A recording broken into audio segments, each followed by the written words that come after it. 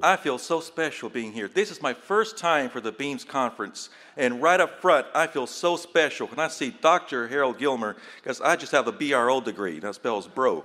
So thank you, Dr. Ferret. I feel very honored to be here. Now, you don't know me from Adam, so just to situate yourself to who I am, my complete name is Harold Ralph Gilmer. That Ralph is very important, that Harold as well, because when I was a freshman at Pensacola Christian College, very first class, passed the, passed the teacher, read off the roster, and he read Harold Ralph Gilmer, and he unknowingly said there must have been two happy grandfathers the day he was born. The joke was on him because I was named after my two grandfathers. Harold, my dad's father, and Ralph, my mother's father. My mother's father is Ralph McCoy, missionary Ralph McCoy, over 50 years missionary in Mexico, uh, founder of Mount Abarim Baptist Mission. You probably know my uncle, Mike Patterson. Uh, he is my cousin Bob Patterson. He is Bill Patterson, I should say. Bob is up in Kentucky. Bill is now the president of our mission. So we have a complete ministry. We have both a Bible publication and a church planting ministry. This is one complete ministry I'll show you this morning, this afternoon. But my parents, Tom and Linda Gilmer, went to Brazil. When they arrived in Brazil, they were right up front called the need of printing the Bible. So my father went to the Brazilian Bible Society and asked permission to print the Bible. And they said, We are preparing an ecumenical version of the Bible, and we are going to stop publishing the Bible as you know it, and we're going to force all the both uh, Christians and Catholics to have one Bible. Well, there's a group of missionaries and pastors that were very concerned about that, so they got together and they had learned that Trinitarian Bible Society in London, which was founded back in 1831, had published the Bible. So they contacted them and just three years after they were in Brazil, they founded the, two years after, I should say, the Trinitarian Bible Society of Brazil. They sat down and realized they had to do a revision of the Portuguese Bible. And, you know, Dr. Gibbs talked about lacking, and this afternoon I lack. Today I lack. I lack an English Bible on me. I brought my Portuguese Bible. I came straight from Brazil for this conference, and I leave this Thursday. I brought just my Portuguese Bible, but I'm so glad I met Brother Ken Rustin. He's going to help me out. Brother, if you could open up your Bibles now to Luke, Luke chapter 8. I could read in my Bible, but it'll be going back to medieval days. You won't understand a thing of what I'm saying. So praise the Lord, somebody here that can, can read it for us. Luke chapter 8, a very familiar passage, but it outlines a Bible ministry verses 5 through 15. Brother Ken, if you could read that for us. Amen. Our Lord Jesus Christ, in this passage of the sower, outlined for us a Bible ministry. First of all, he says, the seed is the Word of God.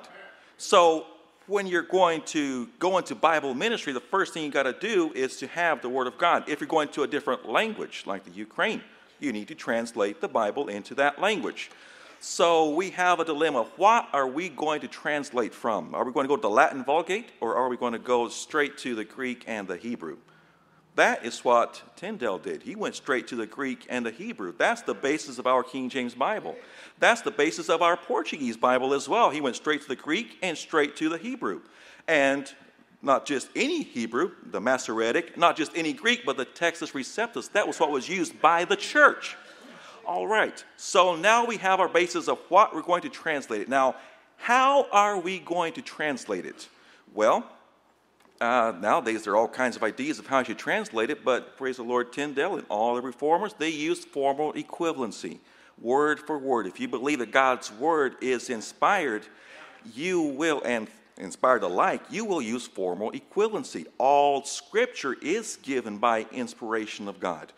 In worst case, Pastor, I don't know Greek and I don't know Hebrew, well, then we do have good translations like the King James. We do have the Portuguese Almeida, but you have to go back and compare those to the original languages just to make sure that you got it right. That's called a daughter translation rather than a mother translation. In the English language, the King James Version, that is a mother translation. In the Portuguese, with Almeida, that is a mother translation. So they got together, but they found out that there were other Greek texts, and they had tampered with Almeida's work. So they sat down, and Trinitarian taught them and they began what's going to be a one year revision process that took 24 years until the entire Bible was complete in 94. But the New Testament was done in 1977.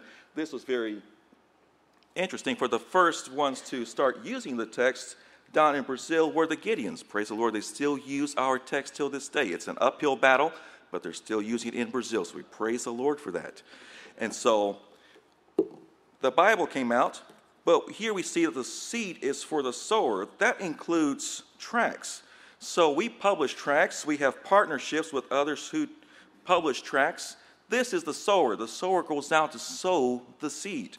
And we have several ministries that we partner with to sow the Word of God. We also provide for the Bearing Precious Seed, they provide the paperback covers. And this is my favorite here. I designed this myself. We had a client who wanted for his church. He wanted to do a personalized New Testament. He gave us this idea. I loved it and I did it. This is a New Testament. I try to give this out to every person that I come in contact with. Now, not everybody wants a copy of the New Testament, but everybody wants a copy of the Psalms and Proverbs. This is an undeniable gift. I've had only one person to turn this down, and that's another story in and of itself. But this is an undeniable gift. Everybody wants a copy of Psalms and Proverbs. This is the sowing of the seed, but some of this falls on hard ground. But then you have other that falls on good ground and you have some that falls on stony ground, and some which fall on thorny ground. In these three cases, there was germination. That seed did start to grow. That is where beams comes in. What we supply for beams is every three months we send to about 80 missionaries in Brazil 18 Bibles. We send them six large print Bibles and we send them 12 of the medium print Bibles. We just had these special done for Beams. These are very legible type. When I was in college, I did graphic design and I asked my mother how I was going to use that in the ministry. She said, Don't worry, you will be able to. Well, I've been able to use it, and by God's grace, this is just as legible as a 1,300 page Bible, but we got down about 960 pages. That's that much less weight to, uh, to send out just as readable, we are able to produce these in Brazil, hardbound copies. If you get your little thing in the back here, and it says how much it costs to ship the Bibles out. Here it says it costs $64. You can cross that out. We do it for $63. Oh, did I mention that the shipping is included? We get to do these for this year, 6,000 Bibles for an average of $3.50. Beams is asking for about $7 a Bible. You know what that means? For every dollar that you give towards these Bibles, you're sending out two. Did you ever hear a story about a little boy who brought a little lunch? God is in the multiplying business, amen? And that's what we're able to do with beams is help beams multiply what they do. But our passage continues because then after a person receives God's word, he needs God's word to grow. Brother, would you read for us Isaiah 55, 11, 10 and 11? Amen. Do you see the beauty of God's word? In, I, in Luke, he compares God's word to the seed. Here in Isaiah, he compares God's word to the water that is going to make that seed grow. So somebody accepts the Lord Jesus Christ. What's the first thing you need to give them? A copy of God's Word. You need to get them in God's house. It's in God's house they're going to grow. It's not going out to the parties on Friday and Saturday night. They need to get into God's Word. And if you look at this passage, let me just point this out to you. This is very, very keen. Who are these who germinate, grow for a while, but when temptation comes, when the seduction of riches comes, fall away. Those are our children. Those are our young people. So many of our young people, they do not have roots in themselves. They, when the thorns come and the temptation comes, they fall away. But Beams is there to help these new converts, to help these children in my church. We have, praise the Lord, we're starting a new congregation now. We have a lot of children who are coming and are accepting the Lord. What's the first thing those kids are getting? A copy of God's Word. And they're coming to church with their copy of God's Word given to them through beams. God's Word is the water that's going to help that seed to grow. So we need to get the seed right when it's the tenderest, as soon as it's budded. That's when we need to come in with beams. That's why beams is so important because it gets it right when it's the tenderest and allows it to grow. Beams gives hardback copies because they want to make sure people want to use these and they're going to grow with these Bibles. But it talks about the good seed. Then, as a person starts to grow into God's Word, all of a sudden he wants his Bible. And that's where we kick in as well. My little son last year, when he saw this Bible that I published, I had to get it for him immediately. This was done on Canadian paper. The next printing will be on uh, Finland paper, which will be thinner, but it's a good size print. When he saw this, he said, Daddy, I need this, so I got it for him. We also we think of each person with everything that we do. This is my wife's Bible. This is a small, medium, fits well in your purse, but it has 12 point type. Very legible. So, ladies, this is the most legible in Portuguese. If it was in English, I'm sure I'd be selling some today, but these are all in Portuguese. Then, this one here, this is Giovanna's Bible. She accepted the Lord, and her mother and father came to the church. So I gave her this Bible here. She even seen it coming to church. She is so happy with her little pink Bible. We just had our 50th anniversary. So this is our 50th anniversary Bible. Pastors are loving this because it's so thin, so easy to carry around. It's what we use for beams as well. This one here was done for young people. I did this cover for me. I like the black lines. When my parents, they're in their 70s, when they saw this Bible, they opened it up, they hated it. This one has got good size print, but not for an elderly person. It has references. When they saw this, they hated it. I said, Close the Bible. I didn't make this one for you. This one's for young people. When my nieces saw these, I had a special delivered to them. They were so happy with their female cover, and it was made for young people. This is just a plain classic Bible. I want a Bible. This is Ramon's Bible. Ramon is who I buy water from. So I gave him this Bible. This is just a plain classic Bible.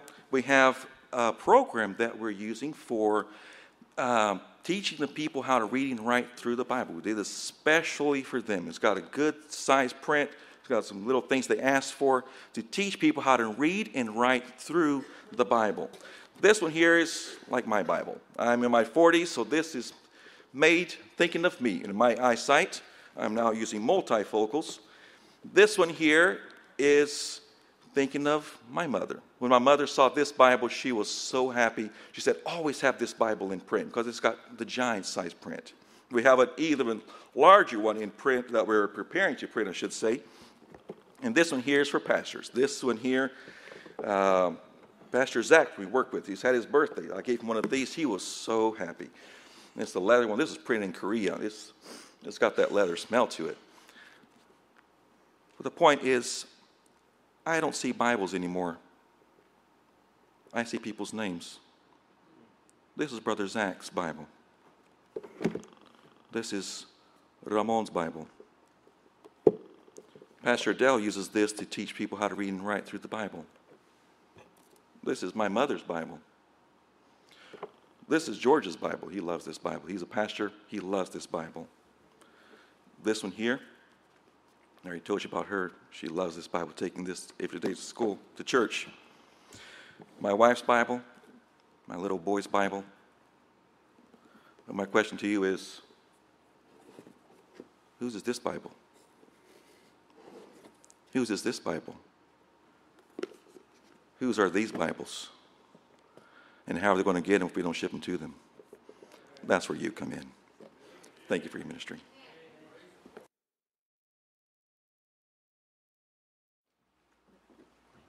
I'm Brother Tim Gordon. It's my wife Carla. We've been in ministry for 33 plus years. Met in church when we was 12 years old. Now we're going to India, and uh, the Lord has granted us 10-year visas to go to India. We're going to Andhra Pradesh in the mountains, 10,000 villages, uh, 30 Baptist churches. They have no written language. So we're going to teach them English and buy a King James Bible for $2. And English is one of the official languages of India. And so, Lord willing, in August, we'll be in India. Tell, tell, tell what, what- what, the, what the churches can do for you. Pastors. You can give us money. and uh, we'll go before August. Uh, but until we teach them English, you know, uh, they don't have a written language, so a Bible won't do anybody any good. So we'll be preaching through translators and teach them English. So you can pray for us. We have prayer cards over there. Uh, pray for us. Uh, most of we're booked up through July, and the Lord's done that for us. And so if you want to book us, it'll be years down the road. But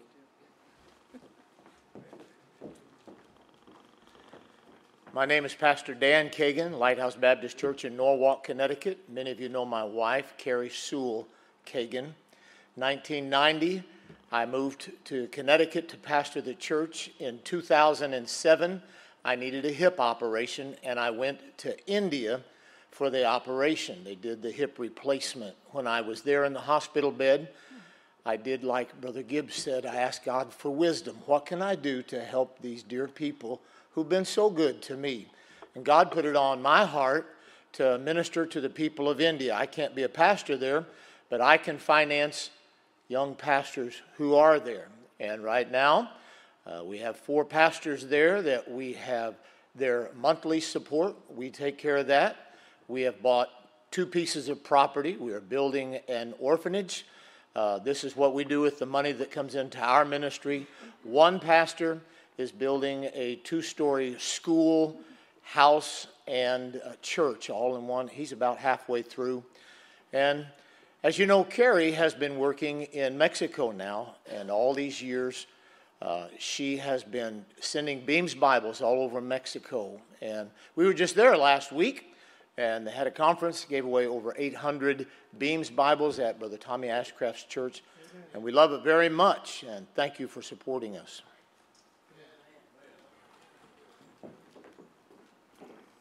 I'm Lee Carter. I uh, grew up in Kansas City. I've been saved for about 25 years and have been in the ministry for 20 of it. Um, Bobby Bonner uh, poured into me for two years in Kansas City, and then God moved my family and I to Decatur, Alabama. I've been on staff there for four years now. Um, and at this point, we will be leaving in November, my family, um, for the Dominican Republic. We've been working there over the last four years, taking anywhere from five to seven trips a year. We've established a training center in three different locations in Santo Domingo, which is the capital. And uh, what the training center does is the pastors that have young men who have the calling on their life for church planting, it allows them to be trained, not just in knowledge, like what we were hearing today, but in application and understanding and going out and doing it. And so over the last four years, we've seen over 300 house churches planted. Um, God is moving in the Dominican Republic. There's an opportunity there for partnership with us. We would love to be able to sit down and share the vision with you. Um, partnerships, it can include giving, it can include going, and it definitely includes praying. So, and those are the three things that we need.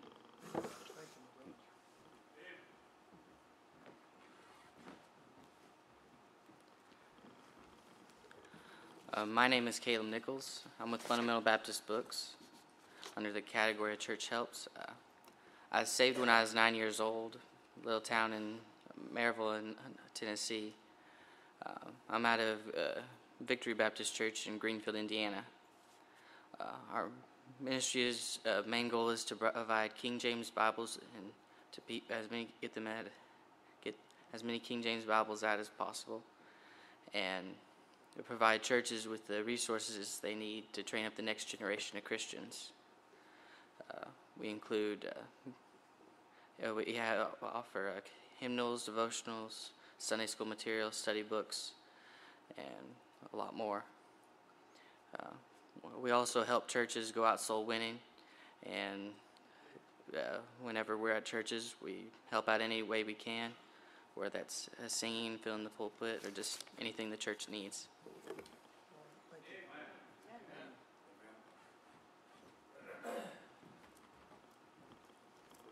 I'm Alvin Roberts. This is my wife Sharon, and we are Beams missionaries representatives. I have been uh, mostly working in New Mexico and uh, and the P- Texas Panhandle, but since she agreed to be my wife, she convinced me to move to Missouri. I mean, Missouri.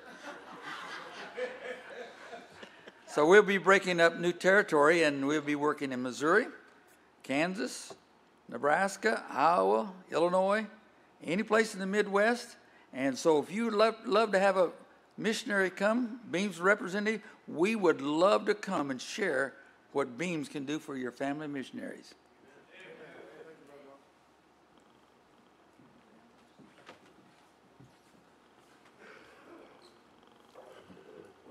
John McElroy, my wife Cindy. She's the 75% of the team. Uh, she's the one that bubbles. Uh, I don't. but we share Texas with Brother Don, uh, Brother Don Smith. will be here a little bit. We, are going to be sharing New Mexico with uh, Brother uh, Alvin that just was here. And then we also have Arizona, Utah, and Colorado. And we need help. We need some people that will come and help us with Beams. Because there are missionaries, and as you heard repeatedly, there are people around the world that don't have the Word of God. We'd like you to help us help them.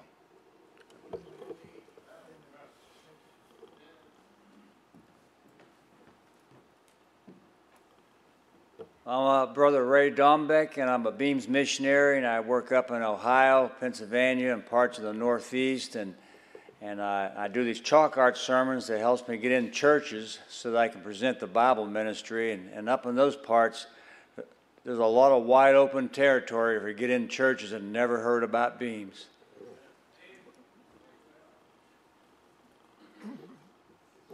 Well, today I mentioned to you about, about his uh, chalk talk, and if you've not had him in your church to do a chalk talk, I promise you, you'll be thrilled and you'll be blessed. He's one of the best that I've ever seen.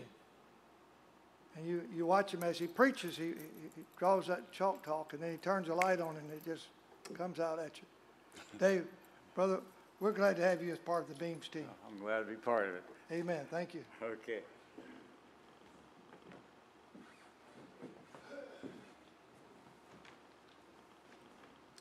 We're Don and Pat Smith. We're kin to Adam and Eve Smith.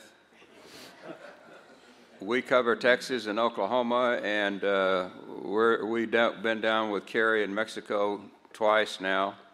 And uh, we, I, for 35 years, I worked for the Department of Defense and I ran their retail stores. So we moved 15 times, lived in four states and three countries, and I met a lot of pastors and a lot of missionaries. So we basically go where we're invited, and we've been in eight states so far in five countries. We spent three months in Okinawa, Japan, two years ago. And I was preaching in a military church, and we had about 300 there, and they're now scattered all over the world. And I said, The best thing you can do for me is just tell every church you go to about beams. And I'm getting emails and uh, Facebook requests. And so we just continue to go. You keep on going until you can't go no more. Uh, what can you do for us? Invite us. Uh, we'll come tell you about it. We'll treat you in different ways. You're bound to like one of them. And uh, the most important thing is we're all on the same team. Uh, we want to send the whole Bible out to the whole world. And uh, how we do that is just one Bible at a time. We say down in my part of Texas, God bless y'all real good.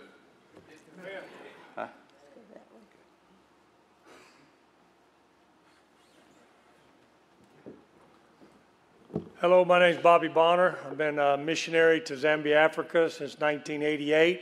Uh, six years ago, because of my health problems, came off the field for a little while and I've been the associate pastor out at First Bible Baptist Church in Blue Springs, Missouri, but still the president and co-founder of International African Missions.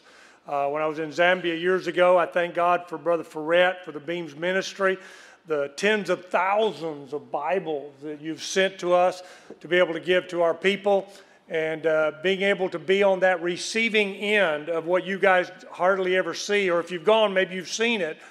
But like Brother Ferret, when that man showed up after a four days journey, or two men bicycling over 500 miles one way and falling on their face and begging us for a copy of the Word of God. And so uh, I'm just so thankful for the Beams ministry, for Brother Carr and all of you and you pastors that give uh, so, so willingly, so generously for the Word of God. Amen. The Word of God changed my life. Just changed my life. If it wasn't for the Word of God, I don't know. First of all, I wouldn't even be born again. I'm born again by the Word of God. I, like what Brother Roloff said uh, years ago when he preached the message, don't talk about my mama. He said, I, was birthed through the Word of God. I'm begat through the Word. And so I'm so thankful that uh, my wife gave me the Word uh, back in 1978. And I've never got over Jesus, as Brother Fred said. And I'm so thankful he's never got over me. You know, the prize fighter, when he's in that fight, you know, and he's going, he's not the one that throws in the towel, it's the manager. And my God's been managing me ever since I got saved. And it ain't over, as Yogi Berra said, till it's over. And so I'm so thankful that God's been able to raise me back up, and now I'm back out on the road again. And uh, uh, looking forward to seeing our men in Africa. We have over 300 churches in five different countries. Uh, we have five training places where we train church planters. I just got a message from one of our men, Douglas Sakawaha, who just uh, completed the training of his 13th pastor. He started 13 churches himself as a national church planter. And so uh, I preached a long time ago that if Africa is going to be reached, it needs to be reached by Africans. If Brazil is going to be reached, it's got to be reached by Brazilians. If Mexico's got to be reached, it's got to be, be reached by Mexicans. And how are they going to do that unless somebody goes and wins them to Christ and disciples them and trains them and turns the ministry over to them? And how are we going to do it without this? So I'm so thankful. So, uh, pastors, again, I'm, uh, you know, you get a chance to love to come in and edify your people. So if you get a chance, love to come and see you and be a part of it. Love you, brother. Love you, Brother Bobby. We would like to tell the folks that Brother, uh, Brother Bobby, when he got saved, he was a professional ball player for the Baltimore Orioles. He was shortstop. God called him to preach. He resigned his baseball career. And uh, who took your place? Uh, it took a guy by the name of Cal Ripken Jr. to take my place, okay? Well, I'm just a legend in my own mind, okay? So- maybe, maybe they've heard of him. Maybe, maybe, maybe. But, anyway, I But I know Dr. Fred, amen. Uh, We, we've shipped thousands of Bibles over there in Zambia, Africa. And what I liked about his ministry over there was that he started a church. Then he trained a national, and he turned that church over to that national and began to train others. And trained over 300 preachers. How many? Yes. Over 300 preachers been trained and we're going out and starting. And I liked, I liked, I liked what he did. And we supplied thousands of Bibles for that work. Thank Bobby, you, good brother. to have you Love here. you, man. Love you too, my friend. God bless you. My name is Ken Rustin, and I'm with uh, Vision Ministries International. And looking out at you this morning, it makes me nervous. I'm not used to having people in civilian clothes sitting looking back at me. Most of them are wearing stripes. Amen. Well, God's been good to us. He's founded Vision Ministries. We've been in the ministry 25 years. And we have a, a women's ministry, and we have a men's ministry. We're in the local jail in town every week. We're in the state prisons. We travel abroad. 13 years in Peru in the terrorist prisons. Spent five years in Honduras and about three years in uh, Haiti, all over the United States. We're getting ready to go to the uh, Eastern Front in the Ukraine and carry the gospel over there. So we pray. For, I ask for your prayers. I tell you, yesterday's meetings, uh, I laid in bed last night thinking about the messages that we heard, and I was thinking about the impossible. you know, with God, it ain't impossible. I was thinking of the Spirit of God, and a verse came to me personally, and it was in Genesis, the third chapter, in the ninth verse. And Adam and Eve had fallen away from the grace of God, and sin had entered. And God came into, and they hid themselves. And God came in the still of the night, and He said, Where art thou? I had to ask myself that. It's not like you can hide from God. But God, it's not that I, He knows that I'm here. He knows that I'm on the coast of Mississippi, in the state of Mississippi, in the United States of America, in the northern con- uh, continent, on planet Earth. But he's asking me, Where art thou? He knew where they were, but where are we in our relationship with him? Are we taking the word to the people that need it? I want to share one experience with you about taking some Bibles. We took Brother uh,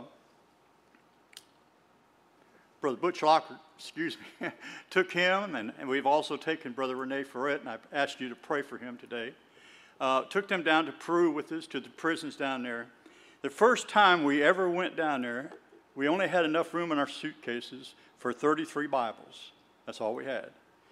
And we went down there and we went to the prison at Santa Monica, and it's a women's prison, and they had the women terrorists in there.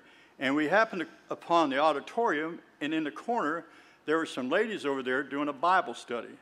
Now, all they had was one Bible amongst all those women. And it happened to be the day that they were graduating. And this teacher came to me and she said, Would you present them with this little makeshift diploma that they had made for them? And I said, Oh, I'd be so honored to do that.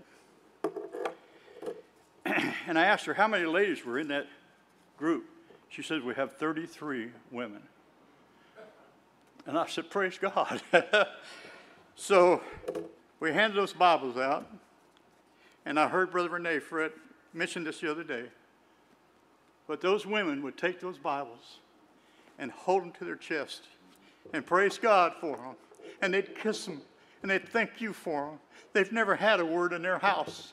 Uh, you know, I've got four or five copies of God's word in my house. And I tell you, I'm just so blessed. But there's people in the world that need beams and need the Word of God. And it's, you know, where art thou? What are we doing about it? It's a challenging question. Amen. Thank you.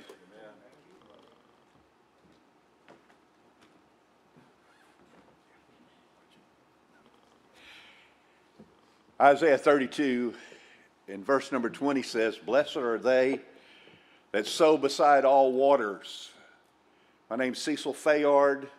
Grew up here on the coast and then was gone for about 40 years in the Air Force, pastoring churches for 35 years. Then the Lord called us back down here to go on board cargo ships, pipe laying ships, and get the Bible in the hands of people who come to this country from all over the world. And so we are sowing the seed among all people. So far, in the last seven years, we've reached 71 countries without leaving the Gulf Coast. We work the coast from Mobile to Jacksonville. We also work Theodore, New Orleans, on into Port Fourchon, down yonder. And it's a wonderful thing to see people who are hungry for the word, such as the Chinese, take a Bible and stand there and read and read and read and read. I asked a Chinese fella, I said, The Bible that I gave you yesterday, what did you do? He said, Last night I read until I go to sleep. And the Bible was on his chest. Polish, German, Pakistani, were able to reach them on the ships where you couldn't go and reach them easily anywhere else. They'll take it, they'll read it, there's not the peer pressure. Pray for Ship to Shore Regions Beyond out of the Elliott Baptist Church in Elliott, Mississippi. Appreciate your prayers.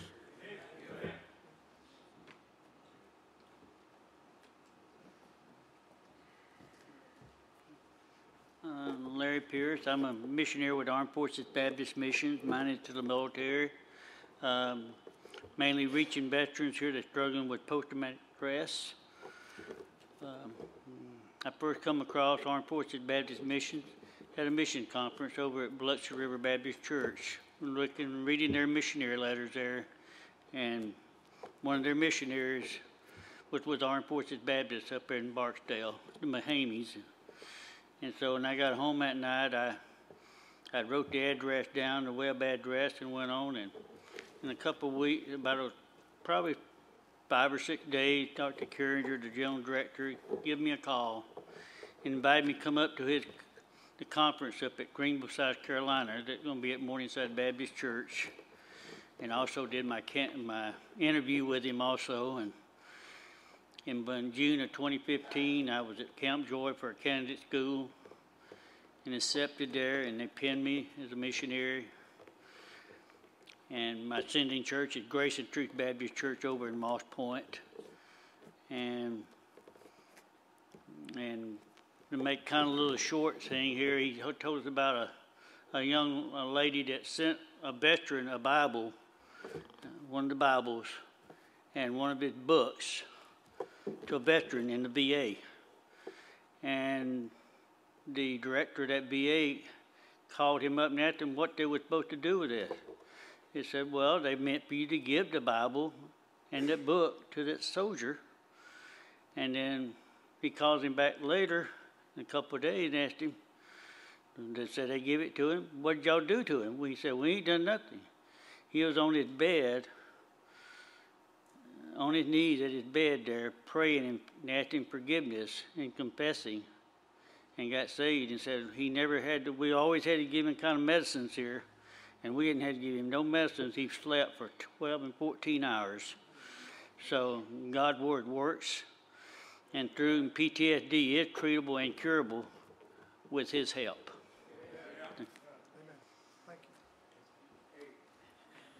This is a new experiment for us to, to uh, have missionaries to come forward and share their ministry, and we certainly want to give them as much time as we can, but we'll have to hold it down until you just tell us who you are and where, you, where God's called you to go and what uh, the churches can do to be a blessing to you.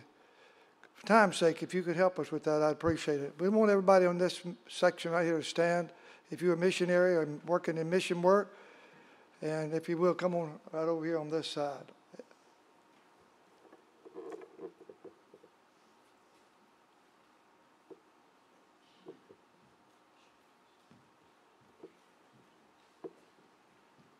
Brother Tommy, would you lead us in a word? Come on up and lead us in prayer, please. Tommy Miles, he was a member here at our church, and now he's going off to pastor. We've sent him into the pastor. Brother Tommy, we're thankful for you. Lead us in prayer, if you would. Amen. Let's talk to the Father. Father, what a joy it's been just to meet with some of your folks. Father, hear the preaching of the Word of God. I'm glad that I can still go to a place people will just rear back and preach. Father, I pray that you'll help us to take all that we've learned and all that we're going to learn, and use it for your honor and your glory. Father, I thank you for each one of these missionaries that are spending some time this afternoon to share their mission field with us. Father, I pray that you'll give us pastors a desire to help them, to lead our churches to be more mission minded. Father, we might fulfill the commission that you've given us. We love you. Thank you for your grace and your mercy in Jesus' name. Amen. Kim Weaver, I'm a missionary in Ecuador, South America, and my wife and I have been there for about six years. She's up in North Louisiana with her mom. Today we are uh, I don't know what to say. I mean, I don't have no prayer cards. I just went to a mission field. God told me to go, and so that's what we did. We don't need no support. We just need a lot of prayers. And uh, if you're interested, don't in investing in a ministry, you know, we take hundred percent of what people give to us and invest it in the Lord's work. All right, to give you my name, Harold Ralph Gilmer. My wife is Lydian, and we have Raphael and Danielle, and we're in Bible publication in Team Church planting there in Brazil pray for us. Every time I tell my wife that somebody's praying for us, I get an email saying someone's praying for us, she literally cries. So pray for us.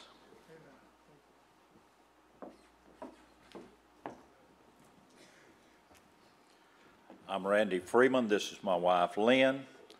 We're going to be missionaries for the Beams Bibles in Louisiana. What you can do to help us. If you know somebody in Louisiana that's pastoring or a church, let them know about us. If you need information, you can call the Beams office and they'll tell you how to get in contact with us. But please pray for us.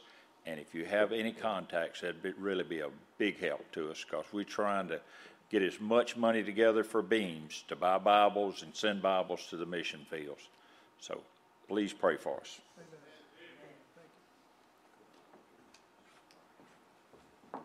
Good afternoon. My name is Larry Brinker. I am a missionary evangelist and missionary pilot. Uh, our theme verse is Ephesians 5:16, redeeming the time because the days are evil. Our focus in the ministry is threefold: evangelization, transportation, and then instruction. We do ask you to please be in prayer for us. We are seeking support, and, but especially we need the power of God on the ministry. And if anybody wants to donate an airplane, we're up for that too. Amen. Amen. Keith Reinheimer. My wife is not with me this time, but we are missionaries with Fundamental Baptist Worldwide Mission in Memphis, Tennessee. After spending eight years in Mexico, coming home for our furlough. My wife got sick and needed a liver transplant. She's doing very well, but the door was shut to go back to Mexico. So we were working in the home office of the mission agency, which is a ministry of Eastside Baptist Church in Memphis, Tennessee. We do not send missionaries to the field. That's the job of the local church. Our job is to help you as pastors send your missionaries to the field more effectively. We have some literature out there, a free book for pastors. If we can help you in any way, stop by and see us. My name is Steve James. My wife Pam and I are missionaries to Cuba. Uh, we've worked in Cuba since 1999. Thankful for all the Lord's been doing there. We had to leave Cuba after winning about 100 folks to Christ uh, and beginning to disciple them. One man called to ministry. Uh, we saw Lord doing some amazing things and had to leave in mid 2001.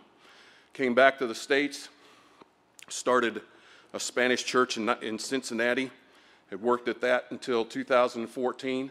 Uh, began transition there because I got an email from Cuba from the young man that we had begun to train for ministry. And again, short period of time, but we were able to see God do, doing a great work in his life. And uh, he sent, emailed us and began to tell us what God had been doing in Cuba. He took that infant uh, work that we had started with and it was three churches when he contacted me, and we could only rejoice in what God was doing. And uh, so we began the transition of the Spanish church in Cincinnati because God was working in our hearts and lives to go back to Cuba. And so we ask you to pray for us. We, our ministry is threefold. We want to evangelize. We're working on seeing as many folks saved as we can, as, and uh, we're discipling those who get saved, and then leadership training and seeing folks, seeing men trained within the gospel ministry. Our goal is to see churches planted across the nation of Cuba. Amen. Please pray for us. Thank you.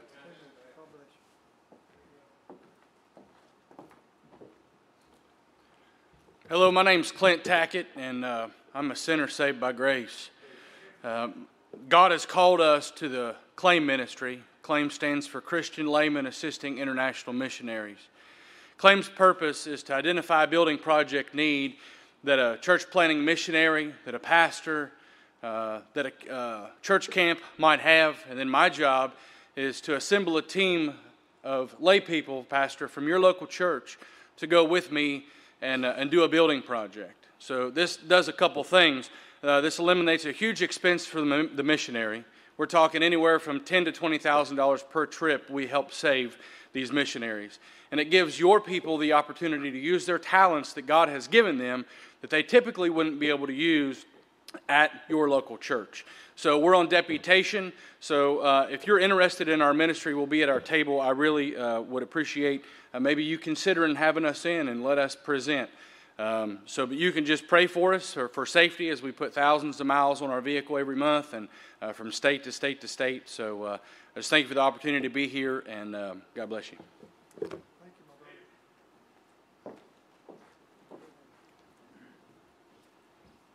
I'm Elvis Sneathen. This is my wife, Wanda. We're with Light in the 1040 Window Ministries uh, out of Mount Pleasant, Arkansas, Cornerstone Baptist Church. Uh, we work in the area of the world called 1040 Window. It's where two thirds of the world's population lives, 90% of the unevangelized of the world. We focus primarily on planting churches in areas where they have never heard a clear presentation of the gospel, and there are literally millions in that part of the world who have never heard.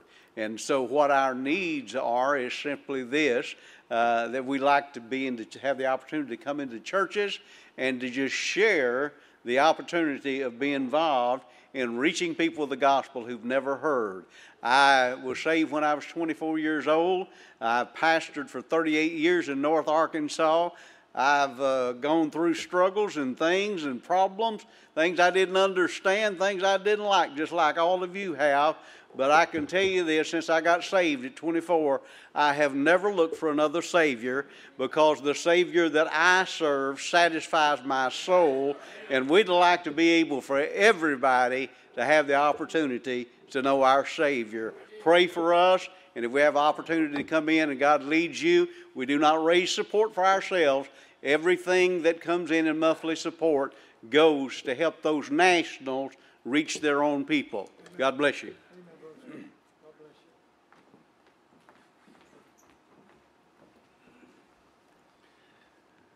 Good afternoon. I'm Rick, and this is my wife Nancy with the Montez, going to Central Latin America and the Caribbean with the proposed ministry, ship ministry called the Gospel or the Mercy Project. We are here just asking pastors. We are fully supported, but we're asking pastors to help us to take a ship called the Mercy Vessel. It's just a vehicle to take Bibles, to take medicine, to take the gospel, to take medical relief, to help the people in these areas. It's important that we take the gospel because as I was in the military, serving our country for 20 years, I was in a lot of times in Central and Latin America, Panama, with the 82nd Airborne Division, and also in these countries, in Nicaragua and all those places. We saw the devastations there, we saw the countries, and they needed our, our help as, as America. But now they really need our help because they need the gospel. The children right now in these countries are opening and they want the Bibles in their schools. We were there for eight months and they have the Bible once a month reading in their schools right now. That used to happen in America. In Panama, right now, once a month, they open the Bible. But guess who's reading the Bible, who's teaching the Bible? It's a Catholic person. It's a Mormon teacher. We need the help of beams to help us. And we want to carry the Bible so we go have the national pastors to go into the schools and teach the little kids the Bible. We need to help and carry the Bible so that kids and families will have the Bible in their home so they understand what salvation is. We're getting the gospel because when they come and they receive the medical help, we give them the gospel and they get saved. And we're using the national pastor that they give and they disciple the people. They have a written contract with us that they are going to disciple. With the eight months that we stayed in Honduras, we w- work with 20 national pastors and, and also we have five ports there ready to go to receive the ship. And the need that I need with the pastors here is to help us to get the Mercy's vessel funded with fuel and also to help us to get it to these countries. And that's the need that we have right now, is to help us to get it there. And that's what I'm asking your help. Thank you so much for the opportunity to be here. And thank you, Pastor Farrett, Brother Farrett, and also Pastor Coons for giving us the opportunity to be here with you this week. Thank you so much.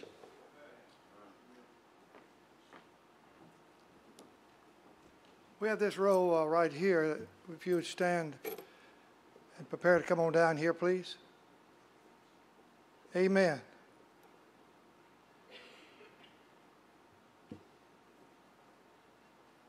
I know how the missionaries are, being a missionary. You want to just take as much time as you can and tell as many stories as you can. But for time's sake, we, we, we, we, we don't have much time right now. So come on, preacher. This is Tony Stark, missionary to East Africa. East Africa, okay? The Yeah. whole, Amen. Tony? My wife and I have been in the ministry since 1975, pastoring and uh, church planting. Uh, we went to Uganda, Africa in 1990 and been ministering there. And most recently, we're in Rwanda, the country of Rwanda.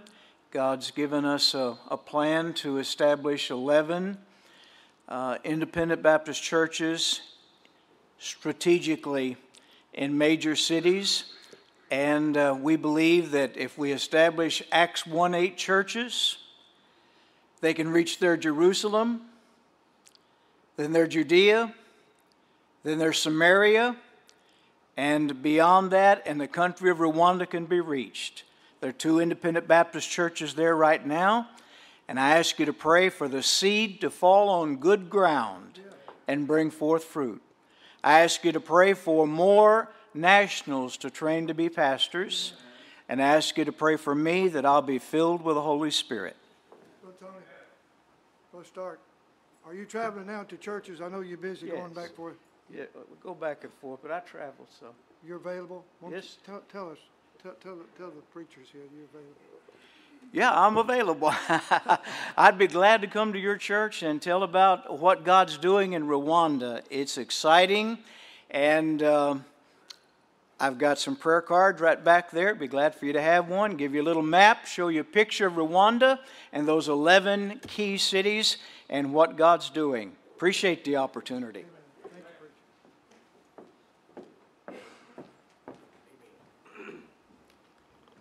My name is Sonny McGuffey, and this is my wife Diane. We are missionaries to Nigeria, West Africa, and uh, we've been there uh, off and on about three years now, full time. Uh, we like uh, the the uh, what's your name? Weaver, right, brother Weaver. We we went with just after just doing five months of deputation, and and that was mostly prompted by the other pastors calling me, and not all all together, but nevertheless, we went quickly. As we surrendered, the Lord just set wheels in motion, and we were thrust into it very quickly. But uh, we've been now in uh, Nigeria for about three years, and we're going to we're we're finished with our latest furlough, first time we've ever been at 100 percent, and we are ready to go back. We will be leaving two weeks from yesterday, about 13 more days. We'll be back in uh, in Nigeria. Nigeria is a country of about uh, over 196 million now, and it's about the size of Texas and Oklahoma and uh, we that we know of, there's only about counting us uh, four American missionaries over there working church planting and and that kind of missionary work. Only four out of almost 200 million, and uh, so you can kind of see the need there. Uh, we are grateful for we're the rookies there. The other ones have been there forever, you know. But uh, we praise the Lord for the opportunity to be missionaries in Nigeria, West Africa. We did not set up a table here. We are through with our furlough. Uh, Sunday night was our last time we wrap, we wrapped it up, so we're ready to go back. Maybe three to four years for we could be in your church, but we would like at least the pastors to have prayer cards. We don't have a table to send you to to pick them up, but we'll have them here if you want a prayer card. Thank you very much. Please pray for us. There's lots of ways to die in Nigeria, and so please pray for us. Keep us safe. Amen. Thank you.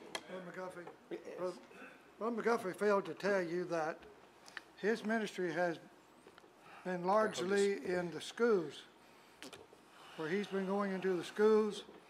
And tell us, tell us about your school ministry and how Okay. God opened the doors Okay. where you could go into all those schools and Okay. teach the gospel. Thank you. Praise the Lord. We are, uh, like most missionaries, we, we're, we're, we, we're kind of uh, ministered in three fronts the soul winning, and then the uh, church planting, and then the training nationals.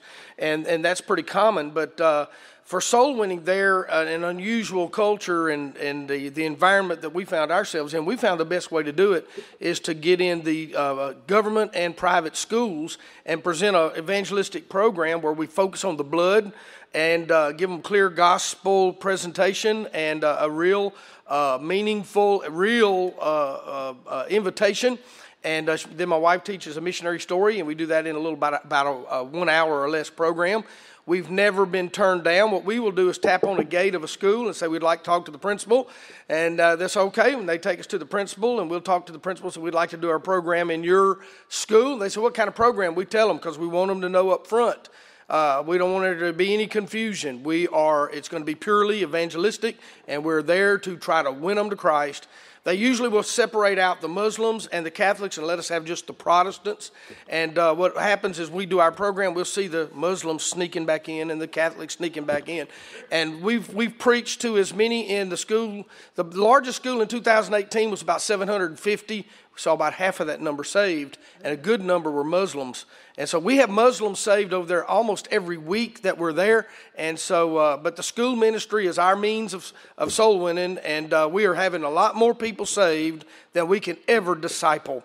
But we're going to be planting a church eventually, not right away, but once we get back over there, that's the reason why we needed to be 100% fully supported.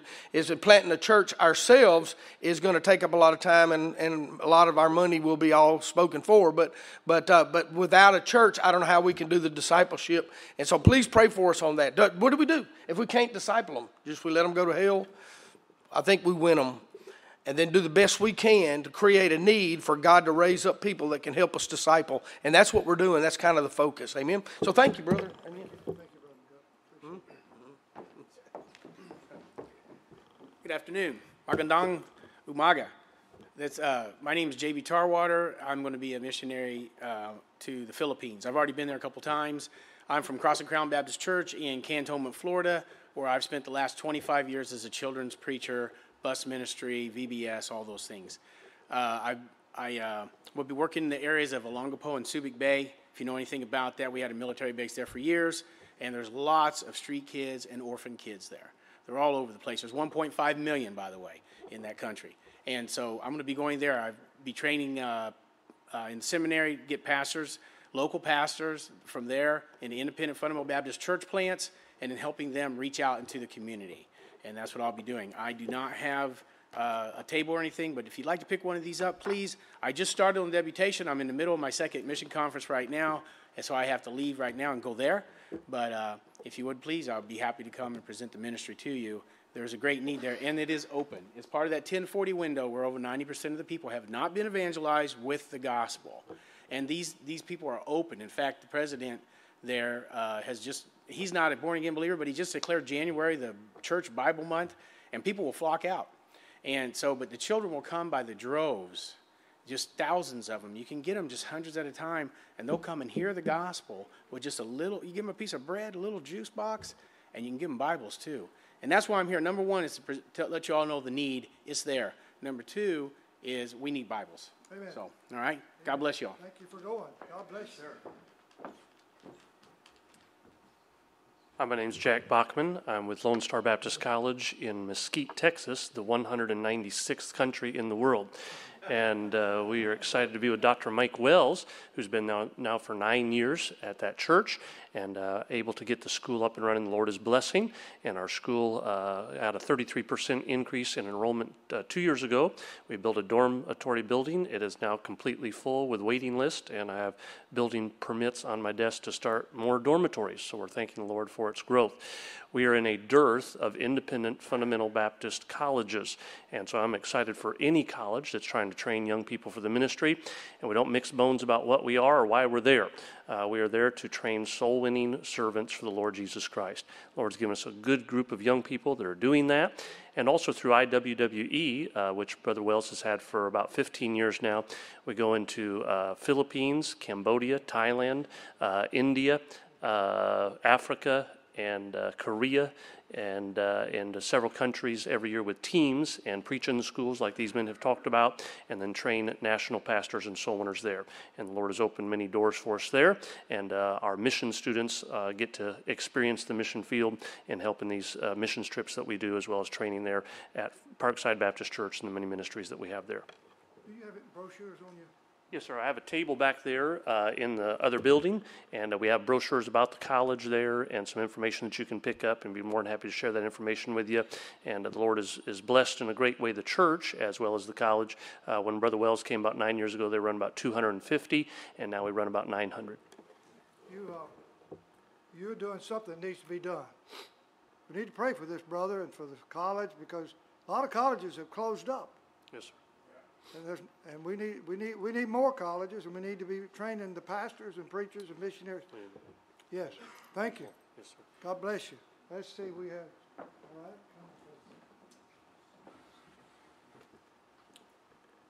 Hey, we, uh, Buddy and Mary Puryear, we served for 30 years in the Navy and we retired. And we thought we would spend our time to have 15 grandchildren, but God had other plans. He's laid on our hearts to do a ship-based ministry in the Caribbean. We want to go do Bible distribution. Wherever the boat goes, Beams Bibles will go. We want to do medical help, and we've teamed up with Operation Renewed Hope. Jan Milton is the director. He will be doing medical clinics, dental clinics, and eye clinics throughout the uh, Caribbean and coastal regions of Central America, and then do disaster relief. When you see the hurricanes come and hit the U.S., it's when you hear about it, but many, many times the islands are devastated by storms, and we have the ability to carry large amounts of equipment, food, and water to go and help and be there long term to help with the recovery process. We've located the boat. We're in the process of raising money to buy it. I only need to raise another $100,000 and the Lord is blessing. We are planning tentatively to do the first trip next February. We are stepping out by faith to do the impossible. Pray for us, and we would love the opportunity to present the ministry in your church. Thank you. Over here on this side. Missionaries on this side, okay? Oh, here's one right here. I'm sorry, Ben. Anybody up here? Amen. Thank you. Amen. Thank you, Brother Ben. Amen. My name is Brother Benjamin Laird. I am a fourth generation minister. I grew up on the mission field in Chile, South America. My parents were there, and that's where I spent all my growing up years. Sister Alice June Rogers, which Mr. Frieda's aunt, Yeah. was mama to me. They- Uh-huh. Even though they weren't kin, they were related and they became family. So I understand the mission work. Then I came home to the States, went to work in business, worked as an executive several years, and then the Lord called me to preach, pastored churches for about 23. In the last five years, He called me to be a personal minister to Jesus. You say, what do you mean? Well, Jesus said when He was hungered and thirsty, and when He was in prison, He was sick, you visited me. And God's called me to, won't be as exotic as being out in the foreign fields, but He's called me to serve in nursing homes and among the homeless and in the prisons. In the nursing homes, I go in and play music, and that kind of gets them out in their wheelchairs to come hear what's going on, these old hymns. Then have an opportunity to preach to them. A lot of places they come in and just do a little devotional, but they won't preaching. And so I'll preach, and some that haven't heard it in a long time will just begin to weep and say, I hadn't heard preaching like that in years, and, and thank you so much. And some have never heard it. And I grew up in church all my life, never heard anything like this. And we've had people saved from age 40 all the way up to 100 year old. I had a 100 year old man got saved. He died at 105, and what a blessing. Then in the prisons, I'm able to go in and evangelize and also teach fatherhood classes through the educational system, which is a blessing. Many of these men never had a father, don't know what it's like. And so God has given us that privilege to teach His Word. And then with the homeless, we just do on a case by case basis. We keep sleeping bags, blankets, uh, food, water, just anything I can hand out to someone to open the door to witness to them. Seen people, of course, the majority is drug addiction, alcoholism, some PTSD, but I've seen the Lord save people and change them from all of that, and what a blessing it is. And I don't come seeking support except of your prayers. I stepped out in faith a few years ago and haven't asked for one bit of support, and guess what? The Lord's taking care 100%, Brother Weaver. I know where you're coming from. I know that's not the way everybody, uh, but it's just the way the Lord laid it on my heart to do it, and uh, that's what I've done, and He's supported us, and what a blessing it's been. But I do covet your prayers, Brother. Gibbs put something on my heart. Um, I've had some things that I really want to do. In my mind, I wasn't capable, but I know God is. And uh, got some big visions of some things. There's some shelters, there's some need in our area, and I'm praying for some impossible things to happen. Covet your prayers. Thank you.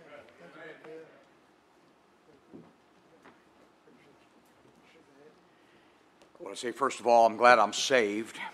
Though heaven's my home, my sin's been forgiven. I want to say thank you, Brother Fred, for inviting us to come and being able to be part of the Beams conference. I can remember the first time I was here was just after a hurricane. Uh, Brother Ferret could not buy any shingles or anything like that in this area, and uh, he put out a plea, and we were able to respond. The shingles that you've seen on the Beams buildings there were shingles that we were able to supply for the ministry, and that's when we kind of got to know about Beams.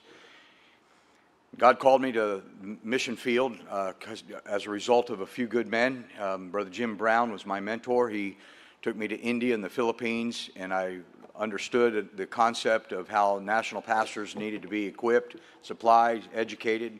My son David married Amanda. so he's got a Brown in the family.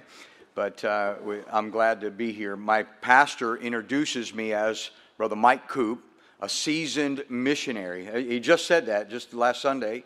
And the lady said, Oh, wow, she was really excited. And that was a scary thing for me because anything seasoned in, in Louisiana, I don't know if that's good or bad, but uh, I took it as a compliment. And uh, we are, we've been to the Caribbean islands. I, I actually started to work in Dominica. Uh, we, were, we respond to, the, I guess is what I am, as a church planter and a first responder to disaster relief. I've uh, been in Dominica for six years, planted a church there, started the Faith Bible Institute, trained some men, turned that work over to a national pastor.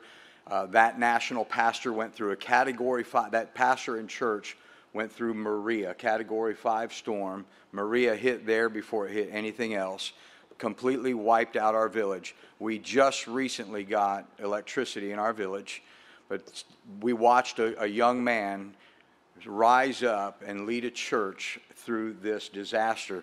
We were able to supply him and equip him.